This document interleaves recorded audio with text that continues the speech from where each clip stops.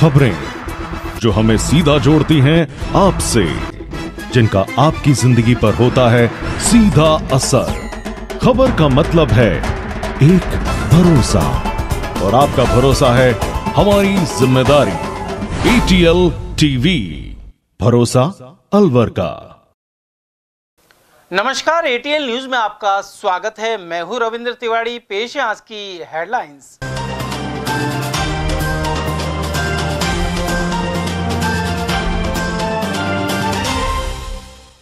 भूपेंद्र यादव के कैबिनेट में आने पर अलवर वासियों ने समस्याओं के समाधान की संजोई आस, ईस्टर्न कैनाल पर अमल और एनसीआर से मुक्ति सहित स्थानीय उद्योगों में जॉब की भी है अपेक्षा। वहीं भाजपाइयों ने मनाया जश्न। वेटरनरी हॉस्पिटल में पशु मित्र की मौत के मामले में मिनी सचिवालय पर किया धरना प्रदर्शन। परिजनों ने हत्या के लगाए आरोप और मांगा मुआवजा। समर्थन मूल्य के बजाय खुले बाज़ार में गेहूँ बेचने के लिए रुझान दिखा रहे किसान। हाथों हाथ भुगतान मिलना है वजह। और पानी नहीं मिलने पर पंप हाउस पर किया प्रदर्शन, इसके अलकापुरी में बनी समस्या। और अब खबरें विस्तार से।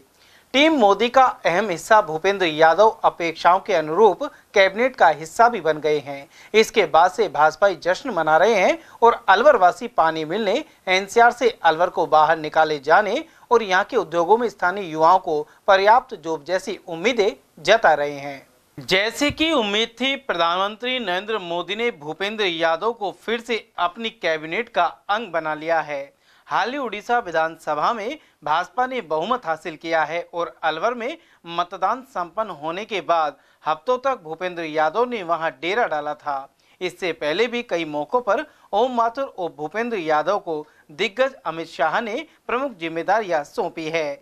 पिछले कैबिनेट में भी मंत्री रहे भूपेंद्र यादव के साथ इस बार बदलाव इस मायने में है कि वे राज्यसभा के बजाय अलवर से लोकसभा सदस्य चुने गए हैं। ऐसे में अलवर वासियों की अपेक्षा बढ़ गई है। इन अपेक्षाओं का ज़िक्र करें, इससे पहले आपको बताते कि गत रात्रि भाजपाइयों ने किस तरह जश्न मनाया। प्रधानमंत्री नरेंद्र मोदी ने तीसरी बार प्रधानमंत्री पद की शपथ ली और भूपेंद्र यादव कैबिनेट मंत्री बने। वैसे ही अंबेडकर नगर कार्यालय में लाइव प्रसारण के मध्य मिठाई बटने शुरू हो गई। यहाँ आतिशबाजी भी हुई। उधर इस अवसर पर भाजपा के पूर्व जिलाध्यक्ष धर्मेश शर्मा भी मौजूद रहे। साथ ही कहा कि प्रधानमंत्री नरेंद्र मोदी सहित उनके मंत्रिमंडल के समस्त सदस्य ईमानदारी से काम करेंगे। वे देश को विकसित बनाने के लिए लगातार काम करते रहेंगे।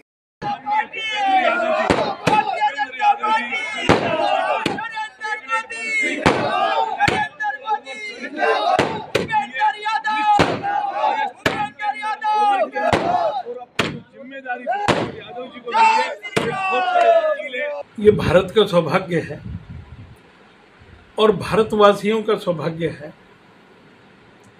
कि इस देश को दिल से प्यार करने वाले और देश पे न्यौछावर होने वाले लोगों की सरकार बनी है, बन रही है, शपथ हो रही है। और मैं ये बात दावे से कह सकता हूँ कि इस देश के इस समय मंत्रिमंडल में जो लोग भी मंत्री बन रहे हैं वो देश की सेवा के लिए, देश की रक्षा के लिए किसी भी सीमा तक जा सकते हैं, कोई भी कीमत चुका सकते हैं। ये स्वार्थी नहीं है, ये भ्रष्टाचारी नहीं है, ये परिवारवादी नहीं है। हमको इन सब पर गर्व है। वहीं इस अवसर पर जिला उपाध्यक्ष देशराज वर्मा ने कहा कि भूपेंद्र यादव अपने किए हुए वादों को पूरा करेंगे और ईआरसीपी की योजना को पूर्ण करवाएँगे। अलवर ज़िले को जो मंत्री दिया है हमारा, भूपेंद्र यादव, वो पहले भी कैबिनेट मंत्री थे, अब भी उनको कैबिनेट मंत्री बनाया है। मैं कहना चाहूँगा, भूपेंद्र यादव के माध्यम से जो हम 20 साल में विकास नहीं करे, आने वाले समय में वो वो काम करेगा वो व्यक्ति, क्योंकि वो संगठन की एक एक कड़ी और नियम को जानता है और विकास की गति को जान, देना जानता है। ऐसा हमारा भूपेंद्र यादव। उधर जिला महामंत्री रामोतार चौधरी ने कहा कि देश को गर्व महसूस हो रहा है। इस ऐतिहासिक क्षण को लेकर भाजपा के जिला कार्यालय को रोशनी से सजाया गया है। अलवर के सांसद भूपेंद्र सिंह यादव भी कैबिनेट मंत्री के रूप में पानी की व्यवस्था सहित भरपूर विकास करेंगे। वहीं उन्होंने राष्ट्रीय लोकदल के अध्यक्ष जयंत चौधरी को भी मंत्री के रूप में जगह दिए जाने पर खुशी व्यक्त की है। बिल्कुल, हमारे दिल को छूने वाला विषय है कि अलवर में भूपेंद्र और देश में, भारत में नरेंद्र, ये चरितार्थ है। नरेंद्र मोदी जी के पर, तीसरी बार प्रधानमंत्री बनने से अब भारत निश्चित ही विकसित राष्ट्र बनेगा। भारत आत्मनिर्भर बन रहा है। भारत एक सुरक्षित राष्ट्र बन रहा है। अलवर को मिलेगा, राजस्थान को मिलेगा। अलवर का विकास होगा और बहुत जल्दी पानी के क्षेत्र में हमारी आरसीपी को बहुत अच्छी तरह से अलवर में लागू करेंगे। हर जगह पानी पहुंचाएँगे। और बड़े इंडस्ट्रीज़ एरिए और रोज़गार हमारे भूपेंद्र जी, माननीय मंत्री जी यहाँ अलवर को लाएँगे। इससे अलवर का सुनिश्चित विकास होगा, राजस्थान का। जयंत चौधरी का नाम एक ऐसा नाम है जो किसान, सीधा किसान से जुड़ा हुआ है। वो हमारे भारत रत्न चौधरी चरण सिंह जी के पोते हैं और किसान वर्ग जाट वर्ग से आते हैं। निश्चित ही इसे किसान वर्ग सदेगा और किसानों के हित में काम होगा। और वहीं केवल भाजपा कार्यालय ही नहीं, बल्कि कई अन्य स्थानों पर भूपेंद्र यादव के मंत्री बनने पर खुशी जताते हुए अब ढंग से विकास होने की उम्मीद व्यक्त की गई। अलवर कोर्ट परिसर में अधिवक्ताओं ने कहा कि भूपेंद्र यादव खुद एक अधिवक्ता हैं। उन्होंने कहा कि ज़िले के विकास कार्यों को अब तेज़ी से गति मिलेगी। वहीं अलवर में पेयजल, सीवरेज, सरिस्का में एलिवेटेड रोड और रोज़गार सहित तमाम समस्याओं का जल्दी निपटारा होगा। अनेक वकीलों ने कोर्ट परिसर में आतिशबाजी की और एक दूसरे को मिठाई खिलाई। यहाँ मौजूद भाजपा प्रवक्ता एवं वकील जितेंद्र शर्मा ने भी अपने विचार रखे। और भूपेंद्र यादव से मेरे जो सुप्रीम कोर्ट वकील थे तब से इनके पास आना जाना है और इनने सारी समस्या हल करी है और भूपेंद्र जी ने जो, कहा है उसको हमेशा पूरा किया है। तथा हमारी मांग मुख्य रहेगी संभागीय अलवर को संभागीय बना दे रहा है। और हम इनसे मांग करेंगे अभी अलवर आने पर। अलवर को संभाग का दर्जा दे रहा है। जिससे वकीलों के काम भी बढ़ेगा, कोर्ट भी बढ़ेंगी तो वकीलों को बड़ा फ़ायदा होगा। और और जितनी समस्या है, जो उन्होंने वादे किए ना, वो तो पूरे करेंगे करेंगे। और हमें पूरी उम्मीद है, जो भी बातें सामने आएगी, वो अपने मेहनत से, पूरी लगन से काम करेंगे अपने। जो कि भारत सरकार के अंदर केंद्रीय मंत्री के रूप में कल शपथ ली है, उससे पूरा अधिवक्ता समाज बहुत ही उत्साहित है कि एक भूपेंद्र यादव जी एमपी के साथ साथ एक वकील रहे हैं। और मैं अधिवक्ता परिषद के होने के नाते पूर्व में अधिवक्ता परिषद के ये महामंत्री और अध्यक्ष रह चुके हैं। इसलिए अधिवक्ता परिषद की ओर से भी उनको बहुत बहुत धन्यवाद कि उन्होंने इस मुकाम पे अलवर को पहुँचाया है और अलवर का विकास करने के लिए वो जी जान से कोशिश करेंगे। अलवर के अंदर जो मेन समस्या पानी की है, जिन्होंने अपने प्रथम इंटरव्यू में ये कहा था कि मैं सबसे पहले इसको प्रायोरिटी पे लूँगा और निश्चित रूप से वो इस काम में आगे रहेंगे और पानी जो ई की योजना है चंबल से पानी लाने की उसको शीघ्र ही पूरा करेंगे जिससे अलवर की क्या समस्या है? वकीलों की समस्या जो है सबसे मिनी सचिवालय के अंदर चैम्बर की है जिसके लिए हमने पूर्व में भी डिमांड रखी थी। उस डिमांड को हमारे विधायक महोदय और वन मंत्री महोदय संजय शर्मा ने विधानसभा में पिछली बार भी उठाया था और अब भी उनसे बातचीत हुई तो उन्होंने कहा मैं शीघ्र इसका शीघ्र समाधान करने की कोशिश करूँगा। अलवर के सांसद पहली बार कैबिनेट मंत्री बने और अलवर का प्रतिनिधित्व मोदी जी की सरकार के अंदर कर रहे हैं। उस सबके लिए अधिवक्ताओं की ओर से उन सबको बधाई। भूपेंद्र जी जो केंद्रीय मंत्री बने हैं इससे अधिवक्ता समाज पूरे में पूरी तरह खुशी है और उनके इस मंत्री बनने के उपलक्ष्य में अधिवक्ता समाज के द्वारा ये मिठाई बांटी गई और ये आतिशबाजी की गई है। हम उनको शुभकामना देते हैं और निश्चित रूप से वकीलों के लिए काम करेंगे पूरे ज़िले के लिए काम करेंगे। जो तीसरी बार माननीय प्रधानमंत्री नरेंद्र मोदी जी तीसरी बार देश के प्रधानमंत्री बने समस्त कैबिनेट मंत्रिमंडल को सबसे बड़ी खुशी की बात माननीय भूपेंद्र यादव जी की अलवर लोकसभा से ऐतिहासिक जीत हुई। जीत के बाद उनको कैबिनेट मंत्री का जो दर्जा दिया गया, देश आज़ाद होने के बाद पहली बार अलवर ज़िले के अंदर यदि कोई कैबिनेट मंत्री बने हैं तो भूपेंद्र यादव जी बने और अधिवक्ताओं संबंधित और पूरे शहर की, ज़िले की और राजस्थान प्रदेश की सभी समस्याओं को जोरदार से उठाएँगे और एक भागीरथ के रूप में अलवर में विकास का काम होगा। हमारे वकील साथी भूपेंद्र यादव जी को माननीय प्रधानमंत्री नरेंद्र मोदी जी ने मंत्री बनाया। इसके लिए उनका बहुत बहुत धन्यवाद। उसी उपलक्ष्य में हम सभी वकील साथियों ने मिठाई बांटकर, आतिशबाजी कर कर खुशी ज़ाहिर की। गौरतलब है कि कांग्रेस में भी सेंट्रल लीडरशिप के नेता पंडित नवल किशोर शर्मा एक समय अलवर सांसद बने थे। इसके अलावा राजघराने से जुड़े जितेंद्र सिंह जब सांसद बने तो कांग्रेस ने केंद्रीय राज्य मंत्री बनाने के अलावा पार्टी में लगातार महासचिव और सचिव जैसी जिम्मेदारियाँ सौंपी।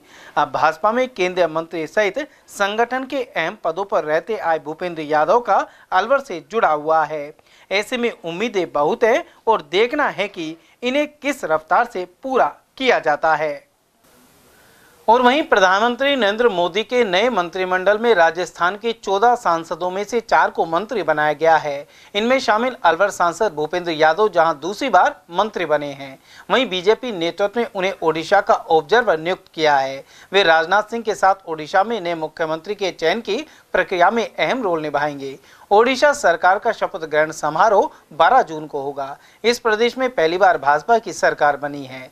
गौरतलब है कि भूपेंद्र यादव का जन्म राजस्थान के अजमेर में 30 जून उन्नीस सौ उनहत्तर को हुआ था। वे कॉलेज के दिनों से ही राजनीति में सक्रिय रहे। वर्ष 2010 में उन्हें बीजेपी का राष्ट्रीय सचिव बनाया गया था। साथ ही उन्हें पहली बार 2012 में राज्यसभा से सांसद चुना गया। इसके बाद दोबारा राज्यसभा सांसद चुने जाने पर जुलाई 2021 में उन्हें मोदी मंत्रिमंडल में शामिल किया गया। इस बार यादव अलवर लोकसभा सीट से चुनाव जीतकर सांसद बने हैं। उधर जोधपुर से लगातार तीसरी बार सांसद चुने गए गजेंद्र सिंह शेखावत, बीकानेर से चौथी बार सांसद चुने गए अर्जुन राम मेघवाल और अजमेर से लगातार दूसरी बार सांसद बने। भागीरथ चौधरी को भी कैबिनेट में जगह दी गई है। और वहीं कांग्रेस ने कहा है कि केंद्र की एनडीए सरकार का डेढ़ साल चलना भी मुश्किल है। पार्टी नेता अभय सैनी के अनुसार इस बार जनता ने भाजपा को बहुमत नहीं दिया है। वहीं प्रधानमंत्री को मजबूरी में एनडीए के घटक दलों के साथ सरकार बनानी पड़ी है। सैनी ने कहा कि मध्यवर्ती चुनाव की संभावना है और इसके बाद इंडिया गठबंधन की सरकार को बहुमत मिलेगा। उन्होंने भाजपा पर चुनाव आयोग से मिली भगत के आरोप भी लगाए। इंडिया गठबंधन ने बहुत बड़ा राइज किया है।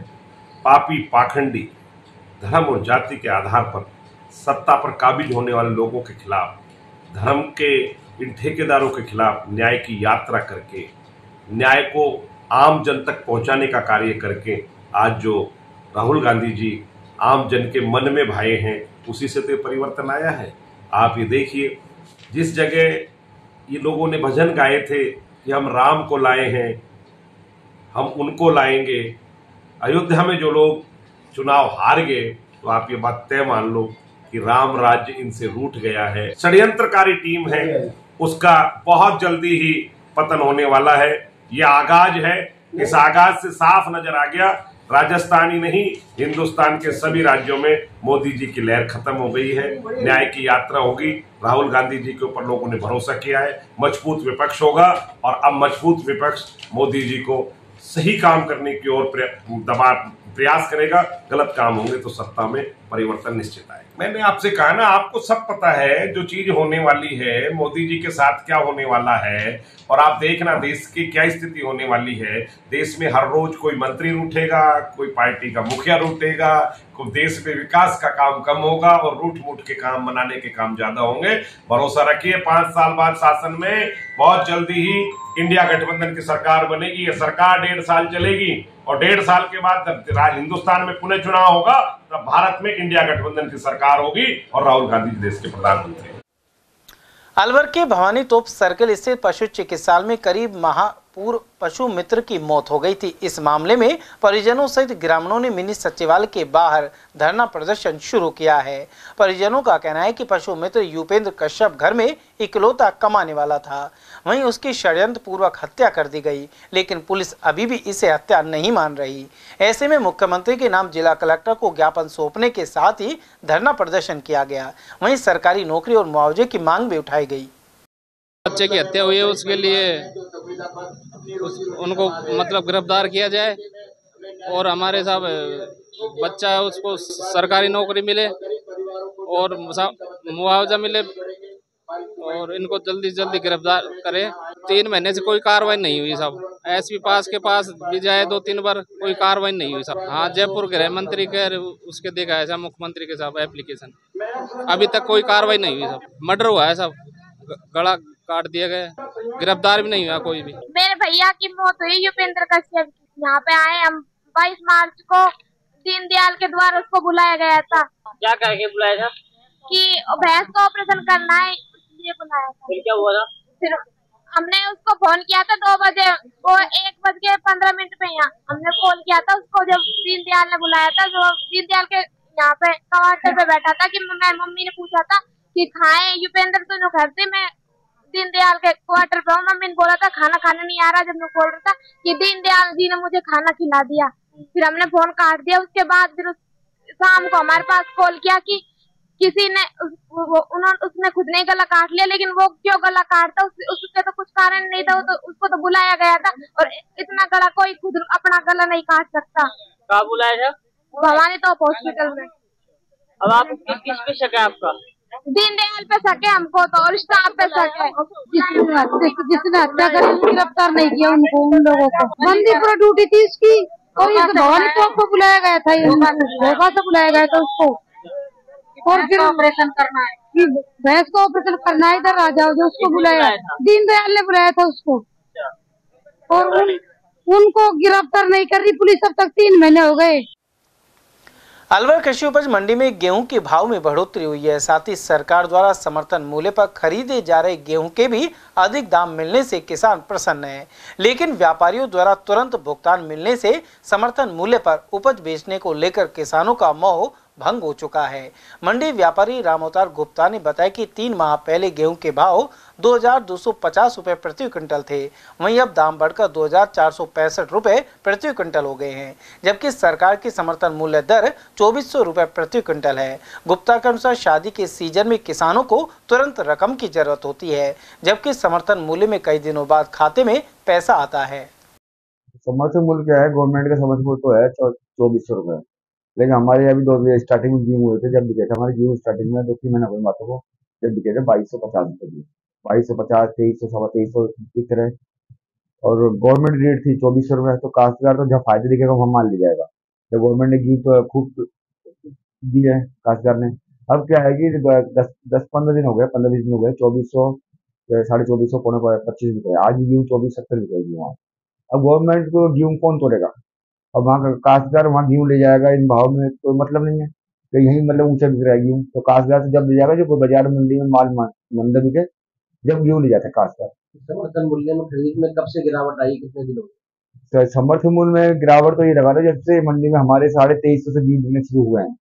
ऊँचे में साढ़े तेईस सौ पौड़े चौबीस चौबीस रुपये जब गवर्नमेंट ने जब काश्तकार माल ले जाना बंद कर दिया वहाँ तो वहाँ एक बात हो रहा है वहाँ पेमेंट की भी समस्या होती है। अब यहाँ तो ब्याह शादी है काश्तकार के तो या कोई माल लाएगा उसको पेमेंट भुगतान होता है हाथ की हाथ तो हमारा लगता है टाइम वहाँ क्या है टाइम है पंद्रह दिन का है महीने भर का क्या टाइम है पता नहीं। हाँ। खाते में आते हैं पैसे। और यहाँ तो जमींदार वो ब्याह शादी है वो तुरंत पैसे चाहिए। पहले रजिस्ट्रेशन कराना पड़ता है उसके बाद टाइम बताते हैं कि इस तारीख को माल लेकर आना है जब माल तुलेगा वो वाली बात है। आज भी हमारी मंडी में चौबीस सौ सत्तर रुपये बिकेगी। अलवर शहर के अधिकांश इलाकों में पानी का संकट बरकरार है। वार्ड 36 के अलकापुरी क्षेत्र में व्याप्त पेयजल संकट को लेकर स्थानीय निवासियों ने पंप हाउस पर प्रदर्शन किया। उनका कहना है कि लगातार समस्या से अवगत कराने के बावजूद समाधान नहीं हो पाया है। वहीं पिछले चार दिनों से तो एक बूंद पानी भी वार्ड में नहीं पहुँचा। वहीं पार्षद रविंद्र जैन ने बताया की वार्ड छत्तीस में अभी तक एक भी टैंकर की सप्लाई नहीं की गई है। हमारे यहाँ जो पानी है, वो एक दिन छोड़ के एक दिन सप्लाई का पानी आता है, जो पूरे शहर में सुनिश्चित किया हुआ है। उसके उसी के हिसाब से हमको 40 मिनट पानी की सप्लाई देनी चाहिए। अब पिछले चार दिनों से हो रहा है। कभी लाइट के कारण कहीं का पानी नहीं पहुँच पाया तो कल हमारी सप्लाई होनी थी जो इंदिरा कॉलोनी दे दी उससे एक दिन पहले हमारा ऑफ़ था। और आज मुश्किल से पाँच मिनट पानी आया, जिसके कारण अधिकतर लोग जो है वो सुबह मेरे पास टेलीफोन बजने लगे। मैंने ए एन जी एन दोनों से बात करी। उन्होंने ये बोला कि साहब पानी तो टंकी में था। जब मैं यहाँ आया तो मुझे ये पता पड़ा कि न तो बूस्टिंग की मोटर चली है, न पानी की सप्लाई यहाँ दी गई है। क्योंकि जो पानी है वो स्कीम दो की तरफ़ मोड़ दिया है और हमारे क्षेत्र के अंदर जो है पानी के टैंकर आते हैं। पानी का हमारे यहाँ एक भी टैंकर नहीं आ रहा। और वहीं अलवर के वार्ड चार स्थित स्कीम दस बी के लोग सोमवार को मनबाग स्थित जलदा कार्यालय पहुँचे। क्षेत्र की महिलाओं का कहना था कि पिछले चार दिनों से बिल्कुल पानी नहीं आ रहा है। वहीं अधिकारियों के आश्वासन पर भी पानी के टैंकर नहीं पहुँचे। ऐसे में लोगों को स्वयं के खर्च पर पानी के टैंकर मंगा कर काम चलाना पड़ रहा है। चार दिन से पानी नहीं आ रहा हमारे यहाँ। बिल्कुल भी नहीं आ रहा। टैंकर और अधिकारी संतुष्ट जवाब नहीं देते हमको। हमारे टैंकर वगैरह कुछ भी नहीं आता। अधिकारी कहते हैं भेज देंगे भेज देंगे। आता नहीं है बिल्कुल भी कुछ भी नहीं। काम चला रही है? पानी प्राइवेट पानी मंगा रहे हैं वो प्राइवेट टैंकर मंगा रहे हैं। प्राइवेट टैंकर वालों के भी आजकल देखो नखरे होते ही हैं जो मांगते हैं वो देने ही पड़ता है। हम बहुत परेशान हो रही है चार दिन हो गए पानी एक बूंद नहीं आया हमारे। अधिकारी हमको यूँ कहते हैं कि अभी भेज देता हूँ पार्षद डालेगा पार्षद कहता है अधिकारी डालेगा हम किससे कहने जाए? हमको संतोष जवाब दे जवाब ही नहीं देते। अलवर के कटी घाटी क्षेत्र में अज्ञात वाहन की टक्कर से पैंसठ साल के व्यक्ति की मौत हो गई। जानकारी के अनुसार जगदीश सिंह नल फिटिंग का काम करता था। काम के लिए अलवर बाग रिसोर्ट जाते समय उसे किसी वाहन ने टक्कर मार दी। मृतक जगदीश अलवर के मोती नगर में किराए पर रहता था। वहीं अरावली विहार थाना पुलिस पोस्टमार्टम की कार्रवाई करवा रही है। मृतक का नाम है जगदीश सनौक मोहन सिंह। जाति राजपूत, उम्र करीब पैंसठ साल। निवासी है भोजपुरा, सिकंदरा इलाके का रहने वाला है। यहाँ मोती नगर में किराए का मकान लेके रहता है नल फिटिंग का काम करता है। शाम को करीब साढ़े छः छः बजे खटी घाटी में हनुमान मंदिर के पास में इसका अज्ञात वाहन से एक्सीडेंट हुआ है। 108 द्वारा बॉडी यहाँ लाई गई। इसके परिजन साथ में इनका पोस्टमार्टम करवा रहे हैं और जैसी रिपोर्ट देंगे वैसी गया था ये? परिजन तो ये बता रहे हैं कि नल फिटिंग का काम करता है अलवर ज़िले के रैनी थाना अंतर्गत बलात्कार के मामले में एफआईआर लगाने की एवज में पैंतालीस हज़ार रूपए ऐंठने का मामला सामने आया है। पीड़ित ने बताया कि उसके परिवार के एक व्यक्ति के खिलाफ महिला द्वारा बलात्कार का मामला दर्ज कराया गया था। इसमें एफआईआर लगाने के नाम पर युवक से करीब पैंतालीस हज़ार रूपए वसूल लिए गए। फर्जी पुलिसकर्मी बनकर दो शातिरों ने यह रकम ऐंठ ली। जब उनकी असलियत पता लगी तो पीड़ित ने रैनी थाने में मामला दर्ज कराया है। मैं लिंकराम प्रजापत पुत्र श्री विश्राम प्रजापत मेरे चाचा रामकेश प्रजापत पुत्र श्री कजोड़ प्रजापत निवासी बूढ़ा का रहने वाला है। इसके खिलाफ हमारे परिवार की एक महिला जिसने बलात्कार का मुकदमा दर्ज करवाया है जिसके बाद दो चार दिन बाद हमारे घर महेश मेहर बूढ़ा आया और बोला तुम्हारे इस केस में मैं एफ़ लगवा दूँगा। मुझे दस हज़ार रुपये दे दो। हमें डरा धमका कर दस हज़ार रुपये ले गया और बोला कि मेरी पुलिस से अच्छी जान पहचान। है इस एवज में हमने इसे दस हज़ार रुपये दे दिया और बोला कि मैंने पहले भी कई लोगों को काम करवा चुका हूँ। उसके बाद हमें ये तो, तहसील टोडा भीम के गाँव खेड़ी मेरेला लेके गया। वहाँ पे हमसे इन्होंने कैलाश मीणा पुत्र मंदूरी मीणा ने हमसे दस लाख रुपए की मांग की। इस एवज में हमने मना कर दिया। तो हमें फर्जी पुलिस वाले बनकर डरा धमका कर, हमसे इन्होंने साढ़े तैतीस हज़ार रूपए फ़ोन पे डलवा लिए। कई अलग अलग फ़ोन पे नंबरों पे डलवाए, जिनके पास हमारे नाम, हमारे पास उनके नाम और पूरा स्टेटमेंट है बैंक का। और उन लोगों की हमारे पास फ़ोन में रिकॉर्डिंग भी है। इन लोगों की पुलिस से कोई जान पहचान नहीं है। ये इनका एक गिरोह है और ये ठगी का मामला करते हैं। इन गिरोह में तीन चार लोग शामिल हैं, जो कि दिनेश मीणा, पुत्र श्री सोनाराम मीणा, बूढ़ा, एक है राम प्रताप मीणा, निवासी सिंहपुरा रैणी राम सिंहपुरा रैणी महेश महर के इस गिरोह में कई लोग शामिल हैं और इस महिला से झूठा मुकदमा दर्ज करवाते हैं और पैसा ऐठने का काम करते हैं। महेश मेहर ने हमें इस महिला से मिलवाया और इस महिला ने हमसे 20 लाख रुपए की मांग की इस केस में। जो हमारे पास हमने इसकी वीडियो रिकॉर्डिंग कर रखी है। इन लोगों की पुलिस में कोई जान पहचान नहीं है। ये लोग पुलिस के नाम से ठगी करते हैं और पूर्व में इन लोगों ने काफ़ी लोगों के साथ ठगी की है। इस मामले में हम पुलिस के उच्च अधिकारियों से मिले।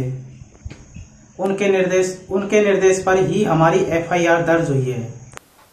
जे एडवांस का रिज़ल्ट रविवार को जारी हुआ। इसमें अलवर के आकाश इंस्टीट्यूट ने जे डबल मेंस के बाद एडवांस में भी बेहतर प्रदर्शन किया है।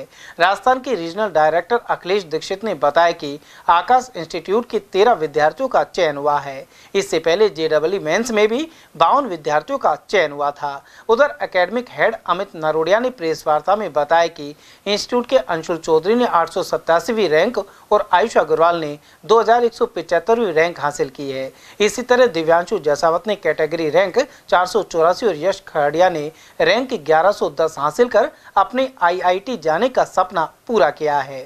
साथ ही किंसुक जैन, आयुष अग्रवाल, दिया बंसल, देवयानी मीना, सीमा मीना, राहुल मीना, ईशान बडेरिया और आशुतोष सोगन ने जे एडवांस क्वालिफाई किया है।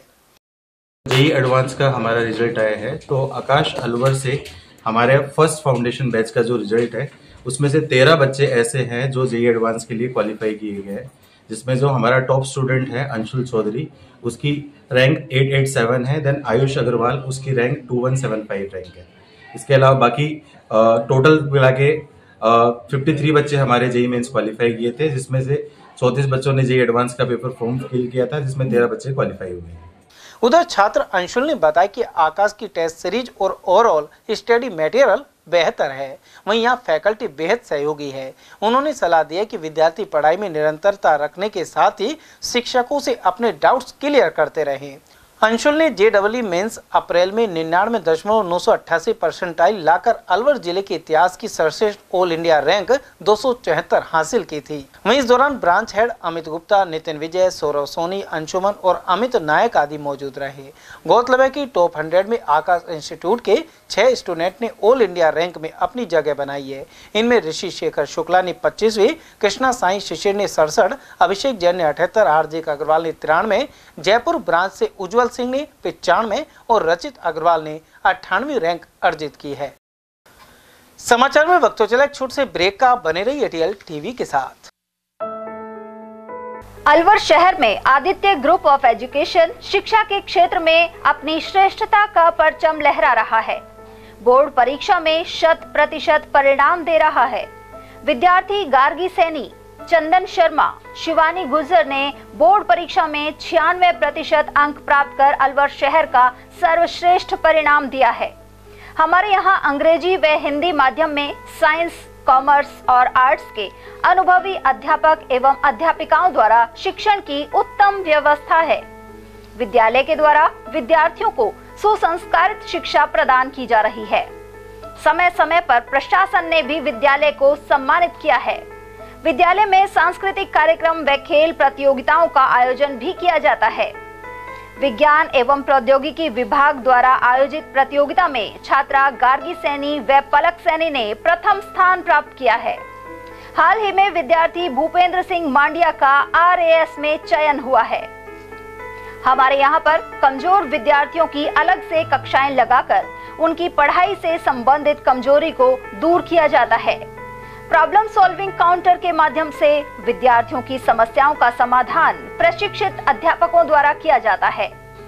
डोर टू डोर वाहन सुविधा और अफोर्डेबल फ़ीस सीसीटीवी कैमरे व कमज़ोर विद्यार्थियों के साप्ताहिक टेस्ट की सुविधा उपलब्ध है। प्रतिमाह अभिभावक संगोष्ठी और स्कूल प्लस कोचिंग की उत्तम व्यवस्था है हमारे शिक्षा संस्थान, Om Aditya public senior secondary school, Delhi academy senior secondary school एवं आदित्य एकेडमी में शिक्षण की उत्तम व्यवस्था है अभिभावकों से निवेदन है कि उत्कृष्ट परीक्षा परिणाम प्राप्त करने के लिए एक बार विद्यालय की जानकारी लेकर अपने बच्चों को उत्तम शिक्षा दिलवाएँ। आदित्य की परंपरा सेवा संस्कार व समर्पण।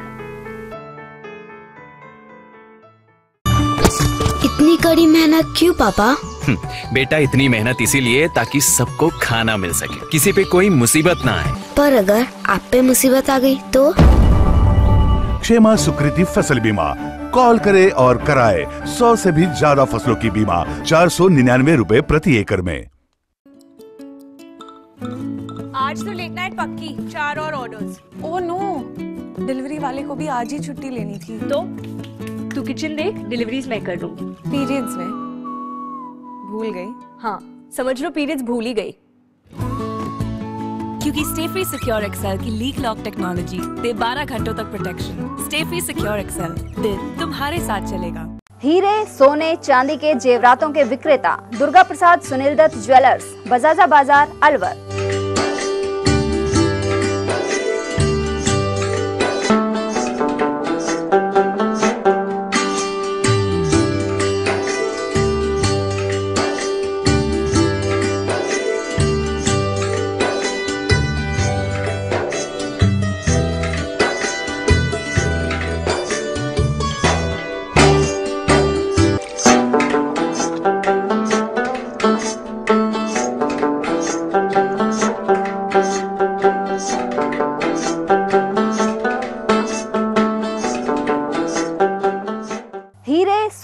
चांदी के जेवरातों के विक्रेता Durga Prasad Sunil Dutt jewellers, Bajaja Bazaar, Alwar. Phone number zero one double four, two double three, eight six five three and two double three, eight six six three. Furniture का 32 साल पुराना जाना माना नाम, राहुल डेकोर। यहाँ आपकी लाडली बिटिया के लिए अथवा अपने घर के लिए सभी प्रकार का सागवान का फर्नीचर उपलब्ध है।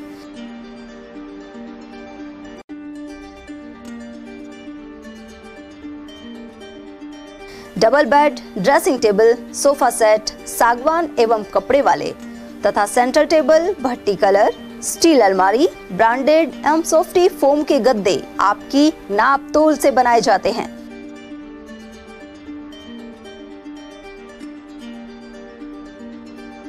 सभी सामान एक ही छत के नीचे उपलब्ध। हमारा पता है, अलवर बोर्ड जैसवंत तिराए से पहले, Kati Ghati, Alwar. Contact number nine four one four zero one nine seven six nine and nine four one four zero one nine seven six eight. ADL द्वारा गर्मी के मौसम में वन्य जीवों के लिए जारी मुहिम के तहत काफ़ी वर्षों से पानी और चारा बाला किला जंगल में भेजा जा रहा है। मकसद यह है कि बेजुबान जानवरों को इस तेज गर्मी में पानी और चारे के लिए भटकना ना पड़े। एटीएल की इस मुहिम में आप लोग भी हमारे साथ सहयोग कर मूक प्राणियों की सेवा के ज़रिए पुण्य लाभ उठाएँ।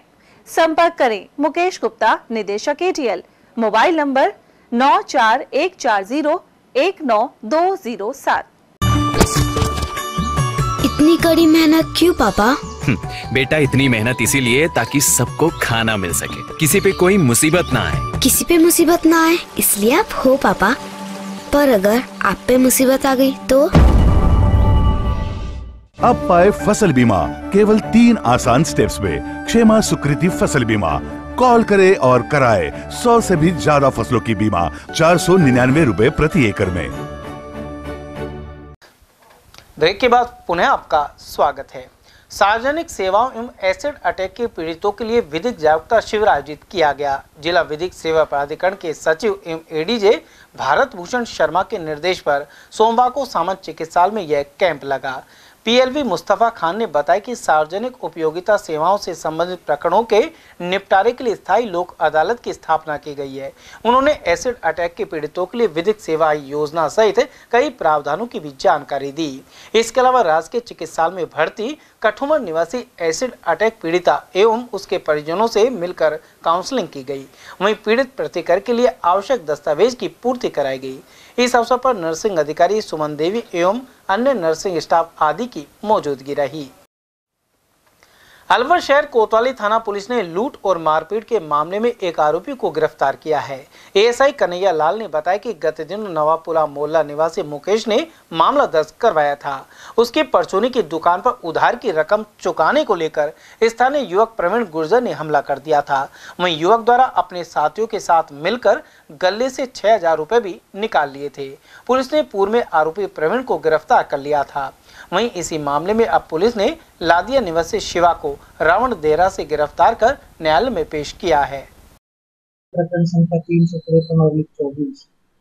धारा एक सौ तैतालीस, तीन सौ तेईस, तीन सौ बानवे चार सौ सत्ताईस, तीन सौ सात आईपीसी में।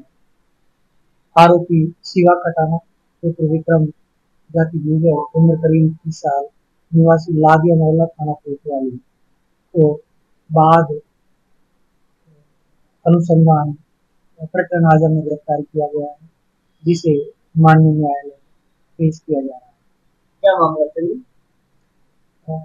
इलाका आजा में मोहल्ला नवाबपुरा में मुकेश गुप्ता की दुकान पर गत रात्रि को करीब नौ बजे चार बदमाशा द्वारा मारपीट और लूटपाट की गई जिस पर थाना आजा पर प्रकरण संख्या तीन सौ तिरपन पब्लिक दो हज़ार चौबीस दर्ज हुआ। बाद अनुसंधान प्रकरण में पूर्व में आरोपी प्रवीण पुत्र अजय पाल जाति जिगर, उम्र पच्चीस साल, निवासी पुराने पोस्ट ऑफ़िस के सामने, अशोक अटाके अलवर को गिरफ़्तार किया जा चुका था, जो न्यायिक अभिरक्षा में चल रहा है। प्रकरण में अन्य मुलजिमान की तलाश जारी है।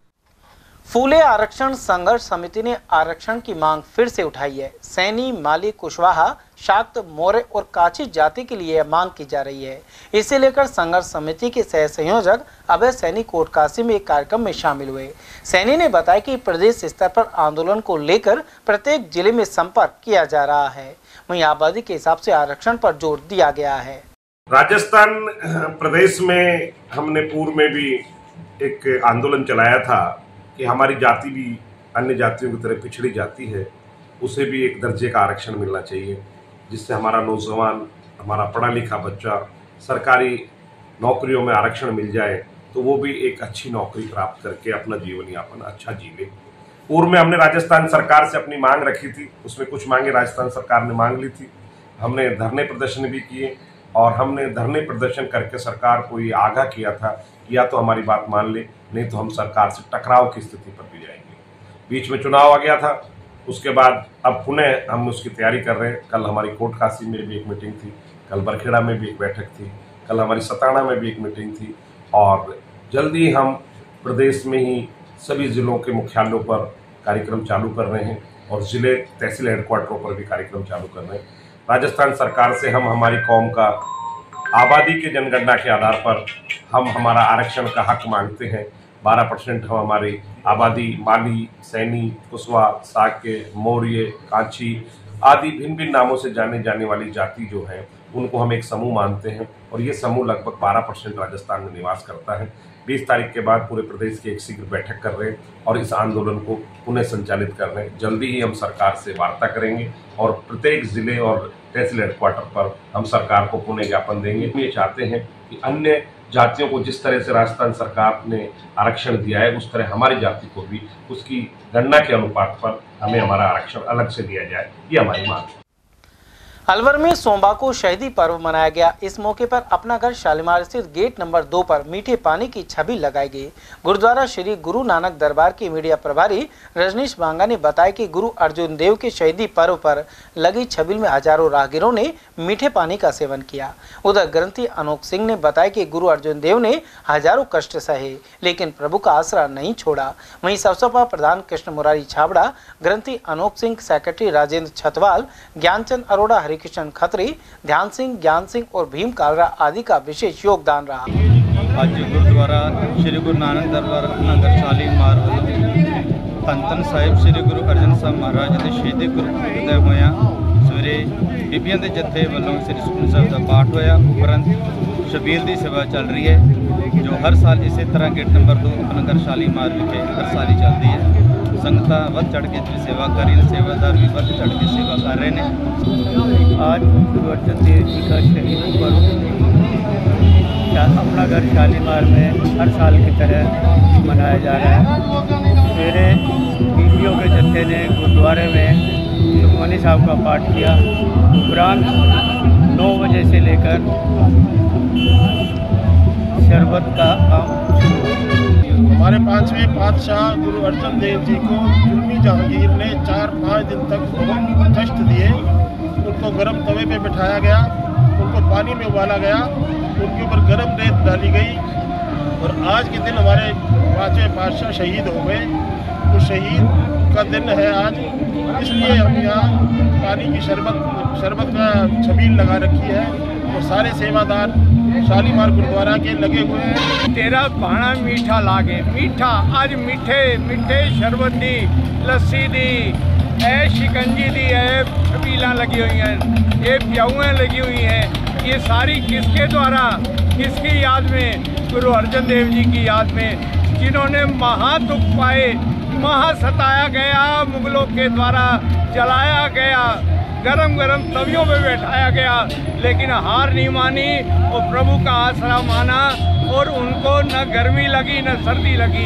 उनका यही संदेश था कि कैसा भी दुख आ जाए, प्रभु की कीरत, प्रभु की करनी को स्वीकार करो। उधर अशोका टॉकीज के पास मालाखेड़ा गेट गुरुद्वारे में गुरु अर्जुन देव का शहीदी दिवस संपन्न हुआ। इस दौरान गुरुद्वारे में सत्संग के साथ ही मीठे पानी की छवि लगाई गई। ਤੁਹਾਨੂੰ ਗੁਰੂ ਅਰਜਨ ਦੇਵ ਜੀ ਦੇ ਸ਼ਹੀਦੀ ਪੁਰਬ ਦੇ ਬਾਰੇ ਵਿੱਚ ਜਾਣਕਾਰੀ ਦੇਣ ਜਾ ਰਹੀ ਹਾਂ। ਗੁਰਦੁਆਰਾ ਮਾਲਾਖੇੜਾ ਦੇ ਵਿਖੇ ਅਲਵਰ ਦੇ ਮਾਲਾਖੇੜਾ ਗੁਰਦੁਆਰਾ ਵਿਖੇ ਗੁਰੂ ਅਰਜਨ ਦੇਵ ਜੀ ਦਾ ਸ਼ਹੀਦੀ ਪੁਰਬ ਬਹੁਤ ਹੀ ਧੂਮਧਾਮ ਦੇ ਨਾਲ ਮਨਾਇਆ ਜਾ ਰਿਹਾ ਹੈ। ਪਰ ਇਹ ਹੋਰਾਂ ਗੁਰਦੁਆਰਿਆਂ ਦੇ ਵਿੱਚ ਵੀ ਉਹਨਾਂ ਦਾ ਸ਼ਹੀਦੀ ਪੁਰਬ ਬੜੇ ਹੀ ਧੂਮਧਾਮ ਦੇ ਨਾਲ ਮਨਾਇਆ ਜਾ ਰਿਹਾ ਹੈ। ਗੁਰੂ ਅਰਜਨ ਦੇਵ ਜੀ ਦਾ ਸਾਡੇ ਸਿੱਖ ਇਤਿਹਾਸ ਵਿੱਚ ਬਹੁਤ ਵੱਡਾ ਯੋਗਦਾਨ ਹੈ। ਉਹਨਾਂ ਨੇ ਹਮੇਸ਼ਾ ਸਿੱਖ ਧਰਮ ਦੇ ਪ੍ਰਚਾਰ ਦੇ ਲਈ ਬਹੁਤ ਜ਼ਿਆਦਾ ਯੋਗਦਾਨ ਕੀਤੇ। ਬਟ ਜਿਸ ਸਮੇਂ ਉਹ ਆਪਣੇ ਸਮੇਂ ਦੇ ਵਿੱਚ ਜਦੋਂ ਉਹਨਾਂ ਦਾ ਰਾਜ ਸੀਗਾ ਤਾਂ ਇੱਕ ਰਾਜਾ ਜਹਾਂਗੀਰ ਜੋ ਸੀ ਜੋ ਉਹਨਾਂ ਤੋਂ ਬਹੁਤ ਜ਼ਿਆਦਾ ਨਫ਼ਰਤ ਕਰਦਾ ਸੀ ਔਰ ਇੰਨੀ ਜ਼ਿਆਦਾ ਨਫ਼ਰਤ ਕਰਦਾ ਸੀ ਕਿ ਉਸਨੇ ਅੱਜ ਦੇ ਦਿਨ ਗੁਰੂ ਅਰਜਨ ਦੇਵ ਜੀ ਨੂੰ ਤਸੀਹੇ ਦੇ ਕੇ ਸ਼ਹੀਦ ਕਰ ਦਿੱਤਾ ਤੱਤੀ ਤਵੀ ਤੇ ਬਿਠਾ ਦਿੱਤਾ ਗਿਆ ਅਤੇ ਤੱਤੀ ਰੇਤ ਉਹਨਾਂ ਦੇ ਉੱਪਰ ਪਾਈ ਗਈ ਇਸ ਤਰ੍ਹਾਂ ਉਹਨਾਂ ਨੂੰ ਤਸੀਹੇ ਦੇ ਕੇ ਸ਼ਹੀਦ ਕੀਤਾ ਗਿਆ ਹੈ ਸੋ ਸੰਗਤ ਜੀ ਅੱਜ ਦੇ ਦਿਨ ਸਾਨੂੰ ਗੁਰੂ ਅਰਜਨ ਦੇਵ ਜੀ ਨੂੰ ਯਾਦ ਕਰਨਾ ਚਾਹੀਦਾ ਹੈ ਔਰ ਉਹਨਾਂ ਦੀ ਰਚੀ ਹੋਈ ਬਾਣੀ ਸੁਖਮਨੀ ਸਾਹਿਬ ਦਾ ਵੱਧ ਤੋਂ ਵੱਧ ਉਚਾਰਨ ਕਰਨਾ ਚਾਹੀਦਾ ਹੈ अलवर शहर में वाहन चोरों की तादाद लगातार बढ़ती जा रही है। शातिर आए दिन किसी न किसी जगह से बाइक पार कर लेते हैं। इसी कड़ी में स्कीम एक स्थित निजी हॉस्पिटल के समीप शातिरों ने मोटरसाइकिल चुरा ली। इसे लेकर परिवादी साजिद ने शहर कोतवाली में शिकायत पेश की है। इसका सीसीटीवी फुटेज भी सामने आया है। गौरतलब है कि शहर में पहले भी कई वाहन चोरियाँ हो चुकी हैं। राजस्थान शिक्षक संघ सियाराम की प्रदेश महासमिति का प्रांतीय अधिवेशन सोमवार को संपन्न हुआ। कंपनी बाग के सामने स्थित मंगल परिणय मैरिज होम में आयोजित सम्मेलन में प्रदेश भर से आए करीब 650 शिक्षकों ने भाग लिया। प्रदेश अध्यक्ष वीरेंद्र शर्मा ने बताया कि ओल्ड पेंशन स्कीम को अनिवार्य रूप से लागू करने की मांग उठ रही है। साथ ही अभी तक ट्रांसफ़र पॉलिसी को लागू नहीं किया गया है। उन्होंने लेवल वन और लेवल टू के ट्रांसफ़र करने एवं शिक्षकों के प्रमोशन किए जाने पर भी ज़ोर दिया।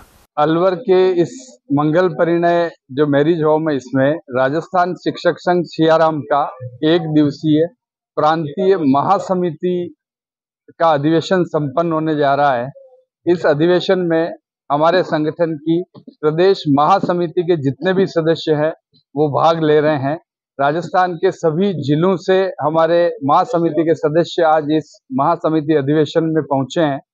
इस अधिवेशन में हम सभी प्रदेश कार्यकारिणी, जिलों से आए हुए महासमिति के सदस्य मिलकर शिक्षकों की विभिन्न मांगों और समस्याओं पर चर्चा करेंगे और प्रस्ताव बनाकर राज्य सरकार को भेजेंगे।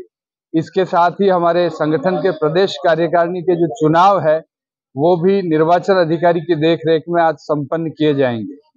हमारी सरकार से जो मुख्य मांग है, एक तो जो पुरानी पेंशन योजना है, उसको अनिवार्य रूप से अविलंब लागू किया जाए ट्रांसफ़र पॉलिसी की सरकार बात करती आ रही है, लेकिन अभी तक ट्रांसफ़र पॉलिसी जारी नहीं की गई है तो वो शीघ्रातिशीघ्र जारी हो। अध्यापक लेवल वन और लेवल टू के ट्रांसफ़र पिछले कई वर्षों से नहीं हुए हैं तो उनके सरकार ट्रांसफ़र करके उनको राहत प्रदान करे। इसके अलावा टीचर्स के, थर्ड ग्रेड टीचर से लेकर के प्रिंसिपल डीओ तक जितने भी कैडर्स हैं, सभी के प्रमोशंस पिछले का लंबे समय से रुके हुए हैं। तो हमारी सरकार से इस प्रांतीय महासमिति अधिवेशन के माध्यम से ये भी मांग है जितनी भी शिक्षकों की डीपीसी बकाया चल रही है, वो शीघ्रातिशीघ्र पदोन्नति उनकी करने की हम मांग संगठन के माध्यम से करते हैं। दौसा में संपन्न राज्य यूथ महिला मुक्केबाजी प्रतियोगिता में अलवर की दिशा गोड़ ने स्वर्ण और चारू यादव ने कांस्य पदक जीता है? इसी तरह जूनियर बालिका मुक्केबाजी में ऋषिका गुप्ता एवं पलक यादव ने भी कांस्य पदक प्राप्त किए हैं? विजेता खिलाड़ियों को जिला मुक्केबाजी संघ के अध्यक्ष दिनेश भार्गव, सचिव देवेंद्र सिंह रावत, कोषाध्यक्ष विकास शर्मा संयुक्त सचिव साधना शर्मा ने बधाई दी। साथ ही भूपेंद्र सिंह राठौड़ दीपक गर्ग, महावीर राजौरिया, विनीत जुनेजा संजय कुमार शुक्ला, राकेश शर्मा और बॉक्सिंग कोच संजीव शर्मा आदि ने भी शुभकामनाएँ दी हैं। गोविंदगढ़ में गृह राज्य मंत्री जवाहर सिंह बेडम सोमवार को विभिन्न कार्यक्रमों में शरीक हुए। यहाँ उन्होंने ब्राह्मण समाज धर्मशाला का उद्घाटन किया, साथ ही गौशाला की व्यवस्थाएँ देखी। रामगढ़ से भाजपा प्रत्याशी रहे जय आहूजा विशिष्ट अतिथि के रूप में शामिल हुए।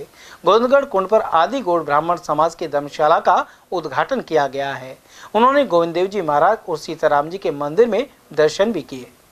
आमंत्रित भी कर रहा हूँ और गाँव की टोली और भारतीय जनता पार्टी के लोग भी उन व्यवस्था में लगे हुए हैं। तेरह जून को माननीय मुख्यमंत्री जी का भव्य स्वागत किया जाए। भारतीय जनता पार्टी हमेशा शहीदों, सैनिकों और देश की सेवा में प्राण न्यौछावर करने वाले अर्धसैनिक बलों के लोगों के भी साथ हमेशा खड़ी रही है। उनके मान सम्मान के लिए जो सरकार को उचित कदम उठाने होंगे, उनको सबको उठाने का अलवर के वार्ड 22 स्थित भवानी सिंह की गली में लंबे समय से पेयजल की सप्लाई नहीं हो रही है। यहाँ ट्यूबवेल बार बार खराब हो जाने के कारण वहाँ पानी नहीं पहुँच रहा। उधर इसे लेकर खबर प्रसारित होने के बाद जलदाय विभाग के अधिकारी संजय सिंह और संबंधित अभियंता मौके पर पहुँचे। समाज सेविका कैलामीना बाबूलाल हरिश्चंद सुशील शर्मा, लक्ष्मीकांत शर्मा, सुनीता चौधरी और मदन लाल गुर्जर आदि ने समस्याओं की जानकारी दी। साथ ही लापरवाही के आरोप लगाए। उनकी मांग पर अधिकारियों ने नया ट्यूबवेल खुदवाने के लिए आश्वस्त किया है। साथ ही राइजिंग लाइन भैरव का चबूतरा भवानी सिंह की गली तक बिछाई जाएगी। इसके अलावा पानी के टैंकर भी भिजवाए गए हैं। गौरतलब है कि जिला कलेक्टर आशीष गुप्ता और उपखंड अधिकारी अलवर प्रतीक चंद्रशेखर जुएकर ने भी आदिशासी अभियंता को मौके पर निरीक्षण करने के लिए कहा था। में एक टोप पानी ना, और चार महीना से एक्शन साहब संजय सिंह ने क्या कहा है अब? संजय सिंह ने तो यही किया साहब। अगर हम देख रहे हैं वो को देख रहे हैं नई बोरिंग का देख रहे हैं उपाय। हमने उनसे भी कह दिए कि हाँ पील खाना पे बोरिंग करवा दो आप। और वहाँ से लाइन भी सजाए वहाँ से हो जाएगा हमारी समस्या दोनों मोहल्ला की दिक्कत खत्म हो जाएगी। अलवर से भाजपा सांसद भूपेंद्र यादव को मंत्रिमंडल में शामिल करने पर मालाखेड़ा के भाजपाइयों ने खुशी जताई। पार्टी से जुड़े मुकेश कुमार शर्मा ने बताया कि इस मौके पर मिठाई बांटी गई। वहीं वीरेंद्र सिंह हितेंद्र प्रधान और एडवोकेट जितेंद्र सहित अन्य लोग मौजूद रहे। साथ ही कांग्रेस से भाजपा में शामिल हो चुके प्रधान वीरवती और दौलत राम के अलावा पार्टी कार्यकर्ता शिवचरण शर्मा और बनवाई लाल गुर्जर आदि ने भी मिठाई का वितरण किया। उधर दिल्ली में नरेंद्र मोदी के प्रधानमंत्री पद के शपथ ग्रहण समारोह में बांसुर एमएलए देवी सिंह शेखावत भी शामिल हुए। वहीं भाजपा के जिला उपाध्यक्ष डॉक्टर शशिकांत बोरा के नेतृत्व में बांसुर कस्बे के नारायणपुर रोड पर मिठाइयाँ बांटी गई। यहाँ भाजपा कार्यालय में कार्यकर्ताओं ने आतिशबाजी भी की। इस अवसर पर पूर्व मंडल अध्यक्ष रामानंद दीक्षित, रंजन, महेश कटारिया मंडल के महामंत्री योगेश सोनी, विजय कुमार, सतीश चौधरी और संदीप शेखावत आदि मौजूद रहे। नरेंद्र मोदी जी तीसरी बार प्रधानमंत्री की शपथ ले रहे हैं सवा सात बजे। ये तीस साल का गठबंधन हमारा एनडीए का। सबसे लंबा गठबंधन है यदि संयुक्त जो जो चल रहा है एनडीए का, भारत में, वो सिर्फ़ एनडीए ही है। बाकी अन्य पार्टियों ने जिन्होंने भी गठबंधन बनाया, वो टूट गए। मगर एनडीए गठबंधन एक ऐसा गठबंधन है जो संयुक्त रूप से ईमानदारी से चल रहा है। दो बार ठीक है, अपने अकेलों ने बहुमत प्राप्त किया, मगर एनडीए के साथ ही सरकारें बनाई। और इस बार जो इच्छा थी भारतीय जनता पार्टी की कुछ करने की। इसलिए वो चार सौ पार का नारा था। परंतु जैसी जनता की इच्छा होती है, उसके अनुसार क्योंकि प्रजातंत्र में जनता ही सबसे बड़ी मतदाता है। उसका फैसला सर्वमान्य होता है। तो एनडीए को जो बहुमत दिया उन्होंने, और अन्य विपक्षी ने जो हवाएँ उड़ाई, फालतू की बातें की, लोगों को बैठाया जिसके कारण ये नतीजा थोड़ा सा गड़बड़ हो गया। अन्यथा 400 पार ही जाती संविधान को बदल देंगे, संविधान को किसी हाथ में से नहीं हटा देंगे। संविधान एक ऐसी चीज़ है जिसको बनाया गया उसको कोई भी व्यक्ति, कोई भी राजनीतिक पार्टी नहीं बदल सकती। इस प्रकार की अफवाहें फैला करके समाज में भ्रम फैलाया गया, जाति पाति का भेदभाव फैलाया गया, जिसके कारण ये सीटें कम हुई। परंतु अब जनता समझ गई, निश्चित, और ये सरकार बहुत अच्छी चलेगी, एनडीए की पाँच साल उधर बांसुर विधायक देवी सिंह शेखावत जहाँ शपथ ग्रहण में शामिल हुए, वहीं मोदी कैबिनेट में मंत्री बनने पर भूपेंद्र यादव, गजेंद्र सिंह शेखावत, अर्जुन राम बेगवाल और भागीरथ चौधरी से मिलकर बधाई दी। मालाखेड़ा उपखंड और ग्रामीण विधानसभा क्षेत्र में शराब की बिक्री के लिए जगह जगह कंटेनर लगाकर अवैध विक्रय को प्रोत्साहन दिया जा रहा है। मेगा हाईवे पर बंदीपुरा, महुआ और कलसाड़ा की शराब दुकान पर लाइसेंस होल्डर का नाम नहीं लिखा गया है। इसके अलावा गोदाम पर भी अवैजू से शराब की बिक्री का आरोप है।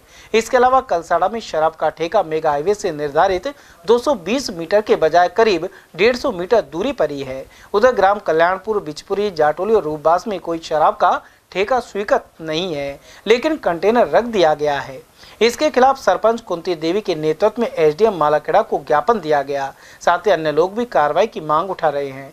उधर आबकारी अधिकारी अर्चना शर्मा के अनुसार, किसी ग्राम पंचायत मुख्यालय पर शराब का ठेका स्वीकृत नहीं होने पर उसे दूसरी पंचायत से जोड़ दिया गया होगा। उन्होंने माना कि हाईवे से 220 मीटर दूरी दुकान का कंटेनर लगाया जा सकता है और इसकी पालना नहीं होने की स्थिति में जाँच कराई जाएगी। समाचार में फिर से रुकेंगे एक छोटे से अल्प विराम के लिए। आप बने रहिए एटीएल टीवी के साथ। अलवर शहर में आदित्य ग्रुप ऑफ़ एजुकेशन शिक्षा के क्षेत्र में अपनी श्रेष्ठता का परचम लहरा रहा है। बोर्ड परीक्षा में शत प्रतिशत परिणाम दे रहा है। विद्यार्थी गार्गी सैनी, चंदन शर्मा, शिवानी गुजर ने बोर्ड परीक्षा में छियानवे प्रतिशत अंक प्राप्त कर अलवर शहर का सर्वश्रेष्ठ परिणाम दिया है।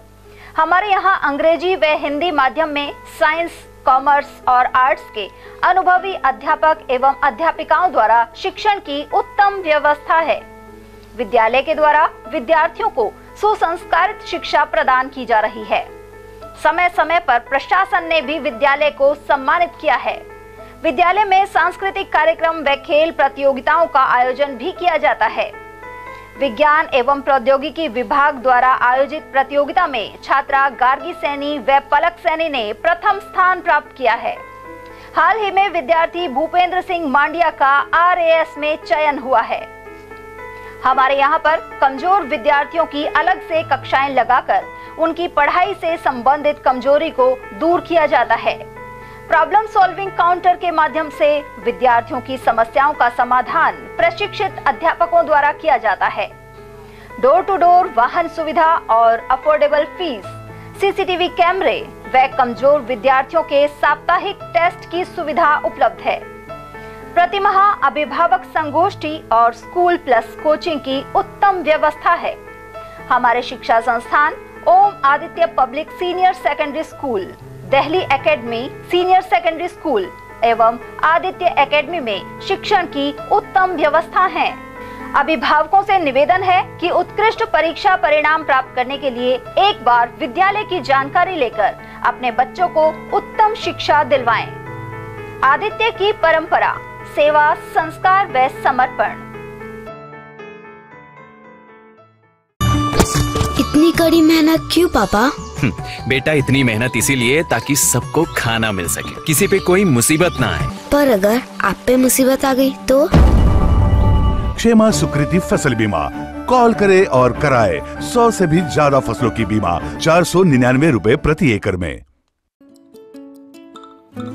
आज तो लेट नाइट पक्की। चार और ऑर्डर्स ओह नो। डिलीवरी वाले को भी आज ही छुट्टी लेनी थी। तो? तू किचन देख डिलीवरीज मैं कर दूँ पीरियड्स में। भूल गई। हाँ समझ लो पीरियड्स भूल ही गई। क्योंकि स्टेफी सिक्योर एक्सेल की लीक लॉक टेक्नोलॉजी दे 12 घंटों तक प्रोटेक्शन स्टेफी सिक्योर एक्सेल दिल तुम्हारे साथ चलेगा। हीरे सोने चांदी के जेवरातों के विक्रेता Durga Prasad Sunil Dutt jewellers Bajaja Bazaar Alwar.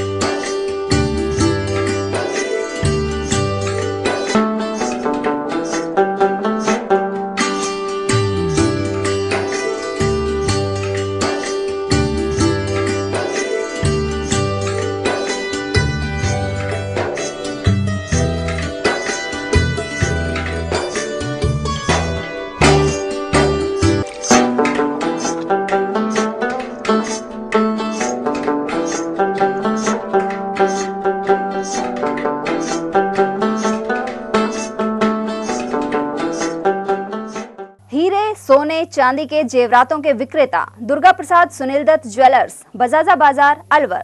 Phone number zero one double four two double three eight six five three and two double three eight six six three. Furniture का 32 साल पुराना जाना माना नाम, Rahul decor.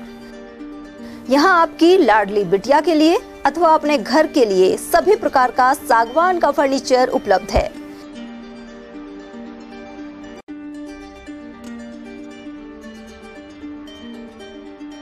Double bed, dressing table, sofa set, सागवान एवं कपड़े वाले, तथा सेंटर टेबल, भट्टी कलर, स्टील अलमारी, ब्रांडेड एवं सॉफ्टी फोम के गद्दे आपकी नाप तोल से बनाए जाते हैं।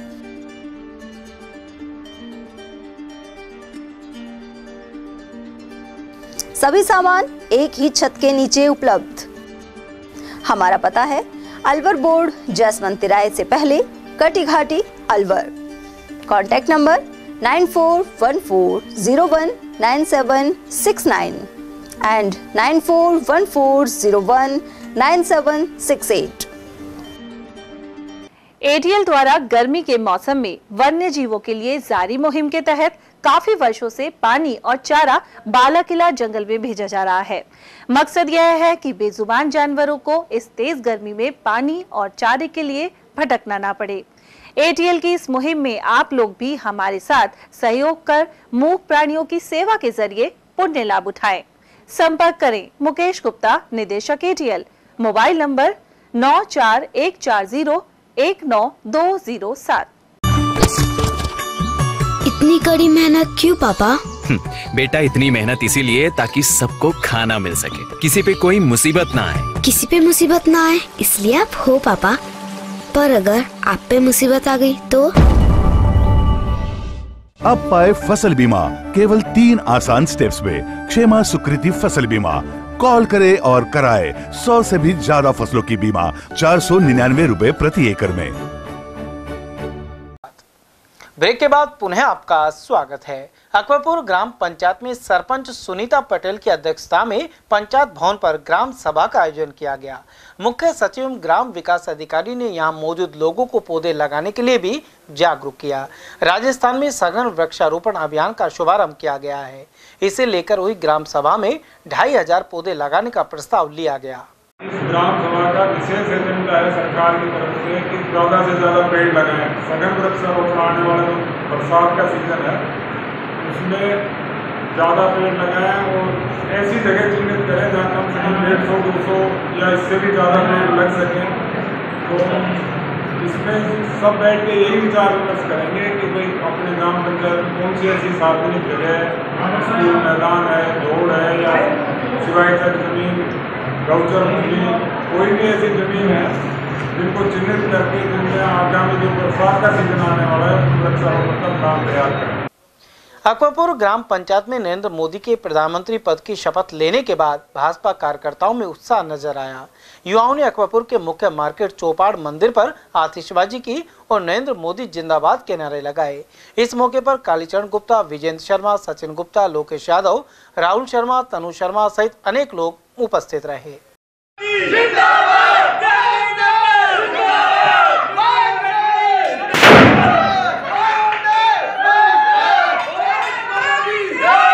और हमारे देश में बड़ा ही एक ज़ोर शोर से मतलब उत्साह। उत्सव और खुशी मिल देखने को मिल रही है। जैसे दिवाली मनाते हैं उस प्रकार से हमने खुशी मनाई है।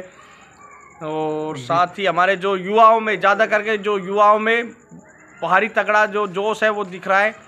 और हमको लग रहा है कि हमारे आने वाले समय में हमारे मोदी जी हमारे लिए बहुत ही अच्छे काम करेंगे। बड़े गर्व की बात है कि आज हमारे देश के एक ईमानदार प्रधानमंत्री श्री नरेंद्र मोदी जी ने तीसरी बार जो शपथ ली है, ये हमारे देश, पूरे देशवासियों के लिए बड़े गर्व की बात है।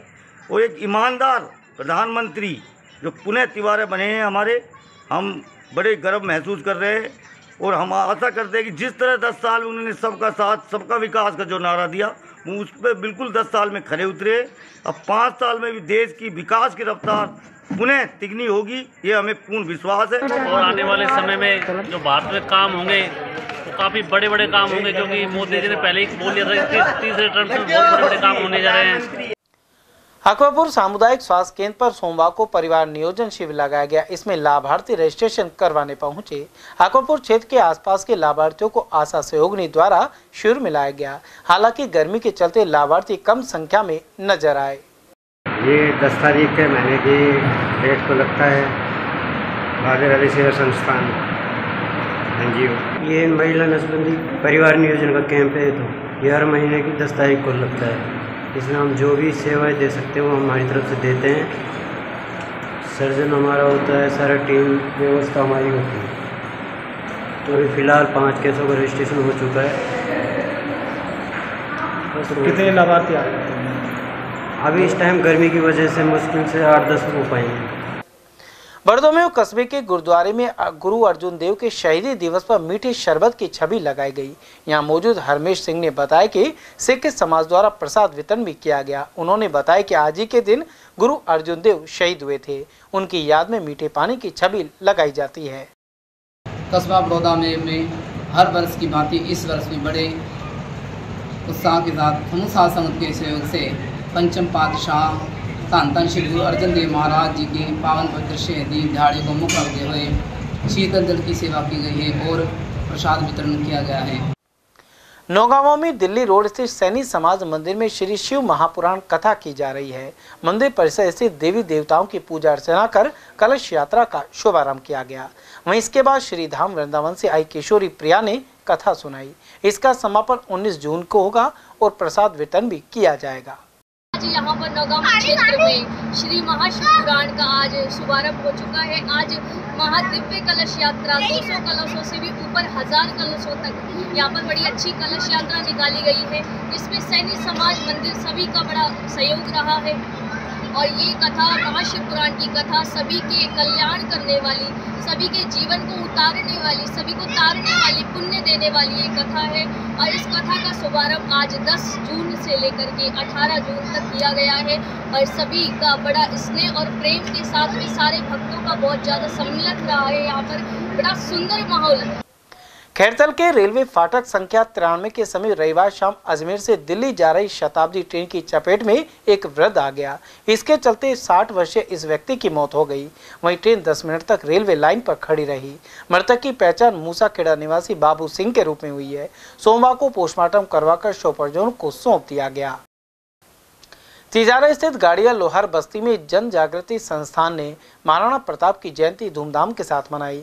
इस अवसर पर महाराणा प्रताप की तस्वीर पर माल्यार्पण किया गया। वहीं संस्थान के संरक्षक बाल किशन आर्य, अध्यक्ष किशन लाल यादव, सचिव राधेश्याम धानका, सुभाष कामरेर जसवंत यादव, लाल बहादुर यादव और कोली लोहार आदि ने विचार रहे। वक्ताओं ने उनकी देशभक्ति से प्रेरणा लेकर अपने जीवन में उतारने का प्रण लिया। तिजारा में श्री मोनी बाबा गौशाला सूरजमुखी की कार्यकारिणी की बैठक अध्यक्ष तेजपाल नागर की अध्यक्षता में आयोजित हुई। इस दौरान पिछले माह का आय व्यय का लेखा जोखा रखा गया। साथ ही गोवंशों का स्वास्थ्य परीक्षण विशेषज्ञ से करवाने का निर्णय लिया गया। वहीं गौशाला के विकास और संवर्धन पर विशेष चर्चा की गई। इस अवसर पर अध्यक्ष तेजपाल नागर, उपाध्यक्ष बनी सिंह गुर्जर, सचिव देशपाल यादव, सुरेश चंद्र, तुलसीराम यादव, पार्षद वीरेंद्र सैनी, यशपाल आचार्य और कमल आदि उपस्थित रहे। भिवाड़ी इंडस्ट्रियल एरिया स्थित भुर्जी सुपरटेक इंडस्ट्रीज़ में आग लग गई। तेज गर्मी से बीच आग लगने से वहाँ मौजूद दमकल कर्मियों को आग बुझाने में भारी परेशानी का सामना करना पड़ा। जानकारी के अनुसार कंपनी के जनरेटर में सबसे पहले आग लगी। इसके बाद यह आग अन्य जगह फैल गई। इसके बाद कई स्थानों से दमकलें यहाँ पहुँची और देर तक आग बुझाने की मशक्कत चलती रही। इंजीनियर्स पॉइंट खैरतल ने नीट के बाद अब आईआईटी एडवांस में भी आर्ट सिलेक्शन देकर इतिहास रचा है। ईपी निदेशक आज़ाद चौधरी ने बताया कि इन होनहार विद्यार्थियों ने अपने क्षेत्र, संस्था और माता पिता का नाम रोशन किया है। इनमें यश कुमार यादव, चारू गुप्ता, एना जोशी, हिमांशु राही, दीपक कुमार, रिया गुप्ता, पंकज कुमार और यश गुप्ता शामिल हैं। इनका जे डबल ई एडवांस में चयन हुआ है। वहीं कई विद्यार्थियों ने जे डबल ई मेन्स में संभावित चयन कर अपने क्षेत्र का नाम रोशन किया है। मातो रोड स्थित ईपी कैरियर इंस्टीट्यूट पर सभी चयनित विद्यार्थियों को माला पहनाकर सम्मानित किया गया। बच्चों को मिठाई खिलाने के साथ ही आतिशबाजी भी हुई।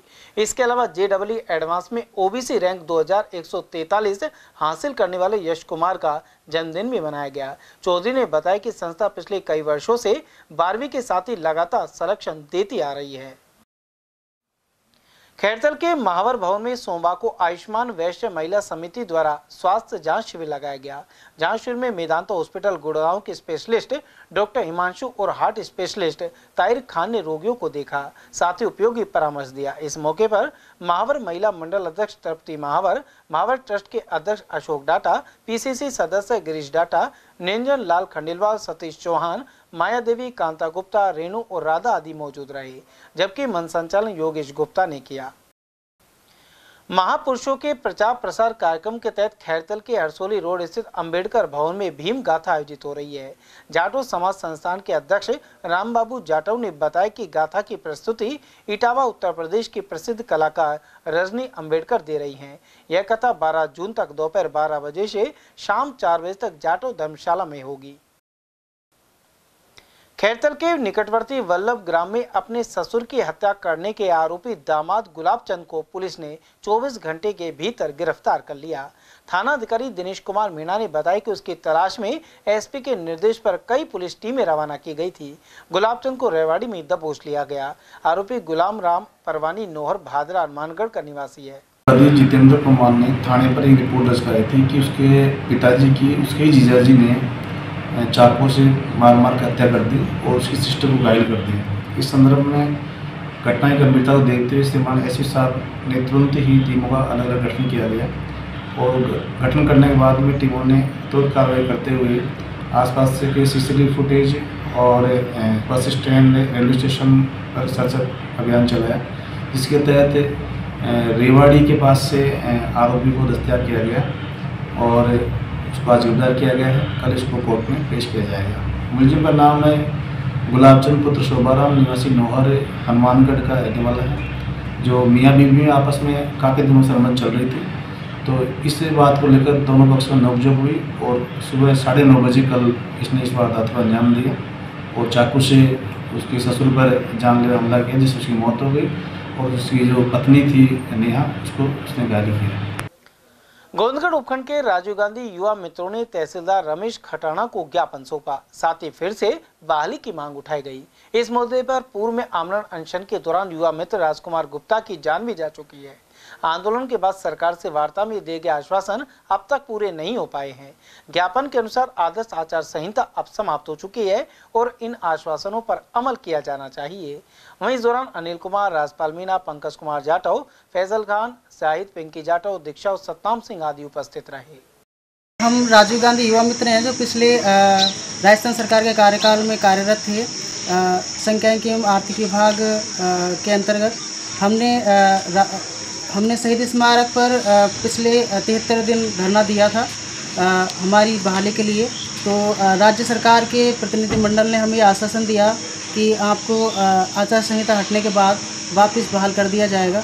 इसी उपलक्ष्य में स्मरण के रूप में हमने राज्य सरकार को मुख्यमंत्री के नाम ये आज ज्ञापन जो तहसीलदार मोदी को दिया है। कृषि विभाग द्वारा खाद बीज विक्रेताओं के निरीक्षण का दौर जारी है। इसी कड़ी में किशनगढ़ में जायजा लिया गया। संयुक्त निदेशक कृषि विस्तार खैरतल विजय सिंह ने बताया कि यादव बीज भंडार पर बिना अनुमति के दो लाख सत्तर हज़ार राशि के बाजरा बीज रखे गए थे। इस किस्म के बीज की बिक्री पर अनुमति नहीं होने के कारण 21 दिन के लिए विक्रय पर रोक लगाई गई है। इसके अलावा संयुक्त निदेशक ने इस फर्म से कीटनाशक के दो एवं सहायक निदेशक डॉक्टर राजेंद्र कुमार ने दवा और बीज के एक एक नमूने लेकर प्रयोगशाला भेजे हैं। वहीं कृषि अधिकारी आरती सैनी ने यादव कृषि विकास केंद्र पर उर्वरक के दो और सहायक निदेशक कृषि ने एक नमूना लिया है। अलवर में नीट की परीक्षा रद्द करने की मांग को लेकर अनेक छात्रों ने प्रदर्शन किया। यह छात्र राजर्षि महाविद्यालय के सामने एकत्र हुए। छात्र नेता अंकित गुर्जर और राज वर्मा ने बताया कि हाल ही में नीट की परीक्षा हुई थी। इसमें योग्य नहीं होने के बावजूद अनेक अभ्यर्थियों को अधिक नंबर दिए गए हैं। ऐसे में उन्होंने नीट की परीक्षा दोबारा लेने की मांग की है। प्रदर्शन किया। नीट की परीक्षा हुई थी कुछ समय पहले। उसका रिज़ल्ट की डेट से पहले ही तो रिज़ल्ट दे दिया। और जिन बच्चों के नंबर उतने आने नहीं थे, सात सौ अठारह, सात सौ उन्नीस नंबर तो संभव नहीं है, वो कैसे आ गए इस चीज़ के नंबर आए, सात सौ अठारह, सात सौ उन्नीस। और दूसरी बात है, नीट के विद्यार्थियों ने अभी वो किया है, आत्महत्या की है तो उनका जवाब दे सरकार, नीट की परीक्षा रद्द करे, दोबारा से परीक्षा करवाए। आगे की मुख्य मांग है कि नीट परीक्षा रद्द करके दोबारा से परीक्षा करवाई जाए या फिर दोबारा से रिज़ल्ट घोषित किया जाए। प्रदर्शन का जो मुख्य कारण है, ये है अभी तीन, अभी कुछ दिन पहले नीट परीक्षा के छात्रों की आत्महत्या। और उनकी आत्महत्या जिस बेस पे हुई है, जिन कारणों से हुई है, हमारी मुख्य मांग वो है। उन कारणों में सुधार किया जाए मौजूदा लोकसभा में 543 सांसदों में सिर्फ़ चौहत्तर महिला सांसद हैं, जबकि 33 प्रतिशत प्रतिनिधित्व लागू हो गया होता तो एक सांसद होती।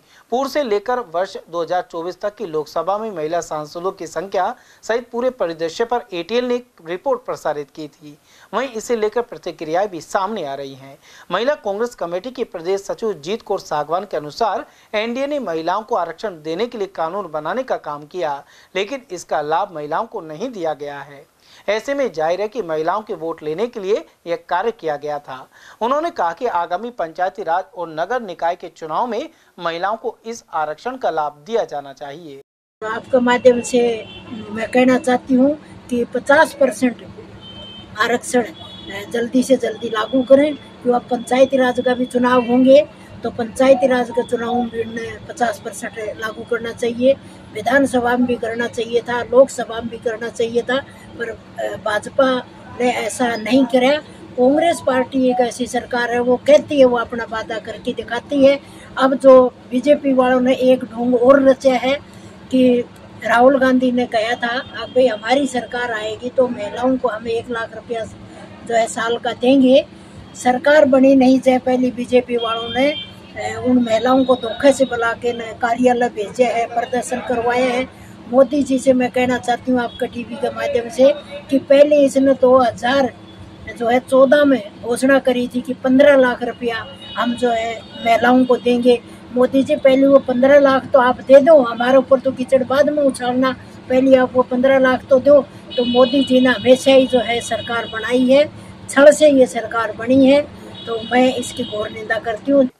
वहीं एडवोकेट जयश्री चौधरी ने कहा कि महिला आरक्षण को अब जल्द से जल्द लागू किया जाना चाहिए। इससे आगामी पंचायती राज और निकाय चुनाव के ज़रिए महिलाएँ सशक्त किसी भी क्षेत्र में क्या अब संसद में है जिस तरीके से महिलाओं को सीटें मतलब बताई गई है कि 50 परसेंट आरक्षण दिया जाना चाहिए जिस तरह अब मोदी सरकार ने बोला है। लेकिन सिर्फ़ वो ओनली लागू करने से नहीं होगा बोलने से नहीं होगा उसको लागू करना चाहिए बिल्कुल, उसको लागू करना चाहिए, जिससे कि महिलाएँ आगे बढ़े। अब किसी भी मतलब कि जैसे कि दहेज का हो या कोई भी महिलाओं के साथ जो भी अत्याचार हो रहे हैं, उनके लिए कानून तो बने हैं, लेकिन उन पर पूर्ण रूप से उन्हें लाभ नहीं मिल पा रहा उस चीज़ का। उन्हें मतलब कि दिया तो जा रहा है संसद में या फिर और क्षेत्रों में भी मतलब सीटें दी जा रही हैं, बट उन, वो सीटें खाली हैं। अगर उन्हें दिया जाता कि भाई लागू किया जाती है अगर उनके आरक्षण को पूर्ण रूप से तो महिलाएँ आगे बढ़ती। लेकिन वो पिछड़ी हुई है अभी। क्योंकि अगर जैसे, अब जैसे नगर परिषद के इनके चुनाव आ रहे हैं तो उनमें अगर महिलाओं को पूर्ण रूप से उनकी भागीदारी दी जाएगी उनको आगे लिया जाएगा तो अपना भूमिका पूर्ण रूप से निभाएँगी वो।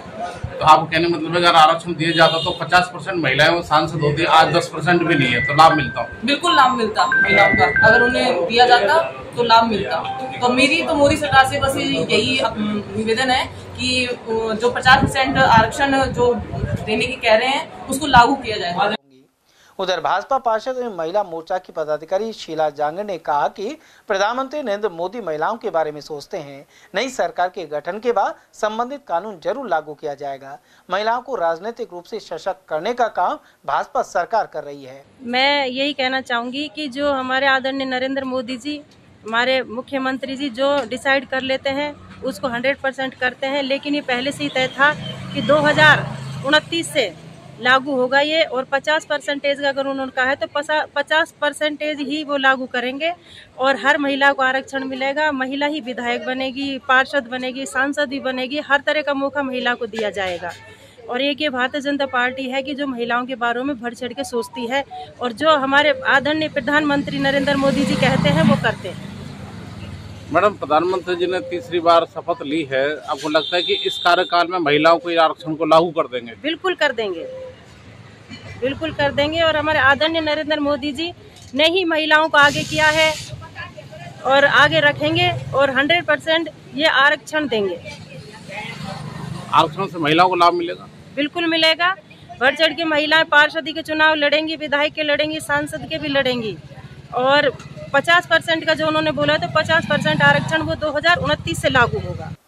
अलवर में चेतन एंकलेव के पास स्थित अयोध्या धाम में भागवत कथा जारी है। श्री पुरुषोत्तम दास महाराज की तृतीय पुण्य स्मृति में यह आयोजन हो रहा है। कथा के चौथे दिन गंगादास महाराज द्वारा ध्रुव को परम पद प्राप्ति एवं भगवान प्रथु अवतार आदि के प्रसंग सुनाए गए।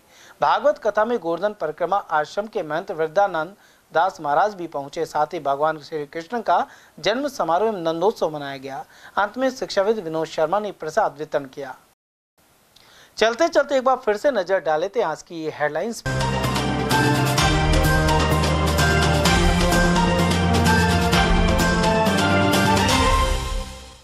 भूपेंद्र यादव के कैबिनेट में आने पर अलवर वासियों ने समस्याओं के समाधान की संजोई आस। ईस्टर्न कैनाल पर अमल और एनसीआर से मुक्ति सहित स्थानीय उद्योगों में जॉब की भी है अपेक्षा। वहीं भाजपाइयों ने मनाया जश्न। वेटरनरी हॉस्पिटल में पशु मित्र की मौत के मामले में मिनी सचिवालय पर किया धरना प्रदर्शन। परिजनों ने हत्या के लगाए आरोप और मांगा मुआवजा। समर्थन मूल्य के बजाय खुले बाज़ार में गेहूँ बेचने के लिए रुझान दिखा रहे किसान। हाथों हाथ भुगतान मिलना है वजह। और पानी नहीं मिलने पर पंप हाउस पर किया प्रदर्शन। इसके अलकापुरी में बनी समस्या। पर समाचारों आज के लिए बस इतना ही। दीजिए पूरी टीम के साथ। रविंद्र तिवारी को इजाज़त। नमस्कार।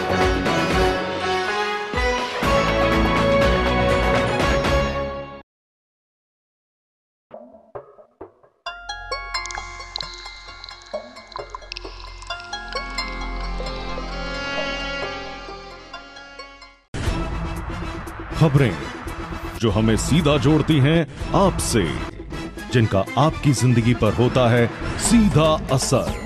खबर का मतलब है एक भरोसा, और आपका भरोसा है हमारी ज़िम्मेदारी। एटीएल टीवी भरोसा अलवर का।